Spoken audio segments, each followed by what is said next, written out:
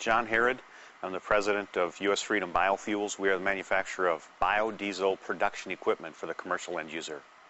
Well, we were pretty excited last summer when we kicked this off. We started in May, and we were averaging about seven machines being sold per month, May, June, July, August, and into September.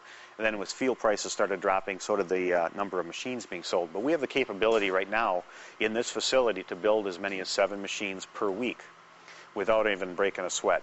Uh, when things were really cranking, we had a couple of employees. Things were moving along. We had uh, we had a pretty good vision. We really thought we were going to be doing upwards of 100 machines per month, and uh, expanding rapidly. But it didn't happen the way we thought it would. Not that the uh, opportunity isn't still there. Our timing was a little off. I think our timing is going to be uh, well in place. Two things have happened. Number one, uh, with this drop in fuel prices, a lot of our competitors have gone out of business. They couldn't survive. We've been very fortunate. We did everything with, uh, with some private investment money locally.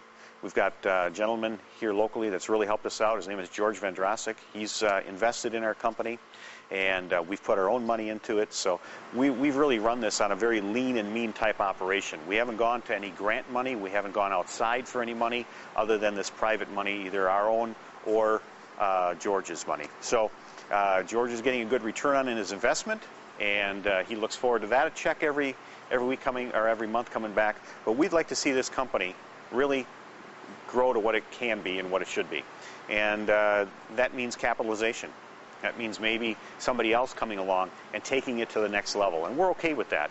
And that's uh, that's really the where we'd like to see it go because we know with 20 million gallons of fuel available through restaurants. Right now in the state of Wisconsin, what that can do for the end user, whether it be a construction company or a landscape company, or just somebody who's got maybe a, a, diesel pickup truck and a fifth wheel that they haven't been able to use as much as they want to because the fuel prices have been so high. If they can start using uh, their own processor to make their own fuel, yes, you've got to pay the 20.9 cents a gallon to the state of Wisconsin, but that's a small price to pay when your total cost of making the fuel, if you're getting the grease for free, it's going to be about 55 cents a gallon.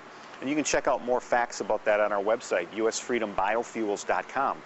But the, uh, the second piece of, of that is that you've got self-reliance.